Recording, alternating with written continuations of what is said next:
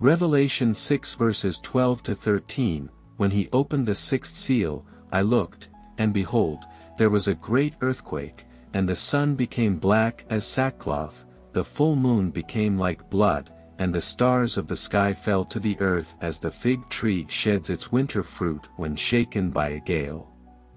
Earthquake in Turkey. Earthquake in Indonesia. Earthquake in Hawaii. Earthquake in Japan. Earthquake in Guadeloupe. There are so many earthquakes happening all over the world counting this day. We are witnessing a huge catastrophe engulfing the world with tremendous consequences. Now Lord Jesus says to Luz de Maria, this is the moment in which the son of perdition acts through his vassals in order not to be seen, he knows that humanity is approaching the warning and before the trials that he faces and those that he will face soon, he is permeable to sin and tempts him to lead them to forget about me. My people must be careful, the vultures that prowl at this time are attacking to hurt them, divide them, or give them death. Do not neglect personal prayer and the practice of the corporal and spiritual works of mercy, without which prayer is incomplete. Act, my children. My word must be made known to all my children, now. Without loss of time. The wolves have left their sheep's clothing and attack without dissimulation, few remain as lambs, being wolves. These will suffer severely at the time of the warning. The son of perdition maintains power on earth through his elite, waiting to appear before my people, although my people do not desire it. He will invade the minds of all through his worldwide presentation at the same moment, all over the earth. My children, the disease continues, the famine comes sooner than you think, the reduction of the world population started with the present disease and they will continue with that demonic plan. You must convert now before the next event arrives without my children deciding for real change. You cannot continue to be the same men who walk in rags.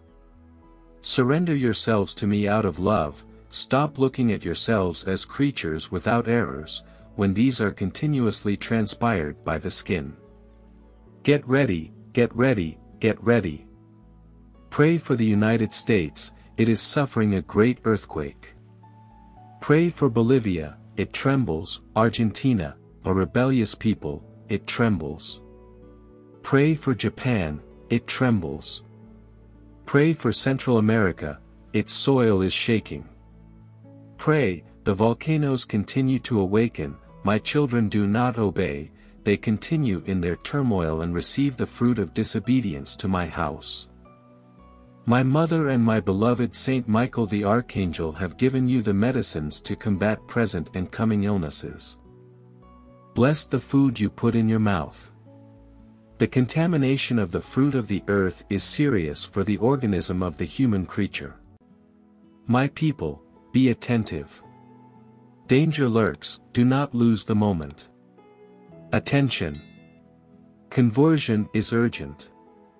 You must remain attentive to the events of my church. Do not fear, my people, be faithful to my house and my mother, do not fear.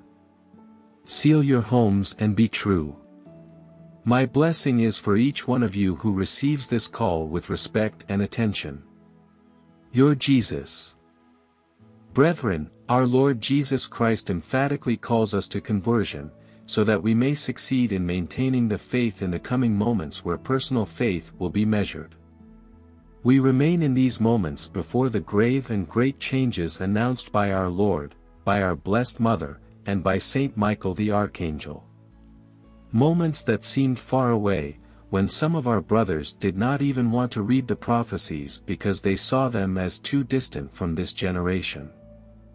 The way to seal a dwelling, as instructed by our Lord, is to anoint the doorframe with blessed oil or holy water and invoke the intercession of Saint Michael the Archangel. Brothers, let's soften a stone heart. Salvation or the abyss is developing before our age.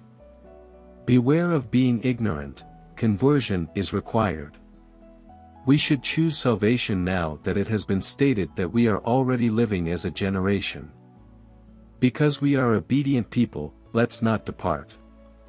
Let's be prepared for the Holy Spirit to awaken each of our gifts to serve our Lord as His genuine children by reviving them inside us. According to Luz de Maria, earthquakes are a sign of God's mercy and a call to repentance.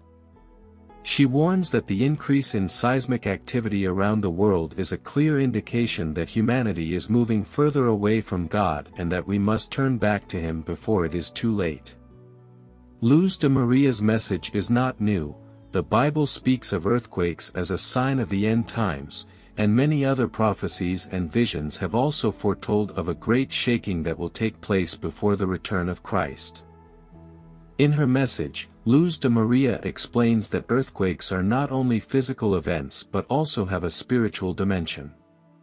She says that the earthquakes that we see in the world today are a reflection of the spiritual earthquakes that are happening in the hearts of people.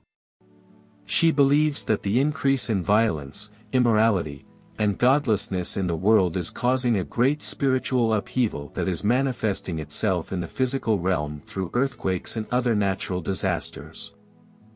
Luz de Maria warns that these earthquakes are not random occurrences but are part of God's plan to awaken humanity from its spiritual slumber. She urges people to repent of their sins and turn to God, for only through Him can we find true peace and security in these turbulent times. As we see an increase in seismic activity around the world, it is important to take heed of Luz de Maria's message and the message of other prophets and seers who have warned of the spiritual significance of earthquakes. We must not be complacent or dismissive of these events, but rather see them as a wake-up call to turn back to God and seek His mercy and forgiveness.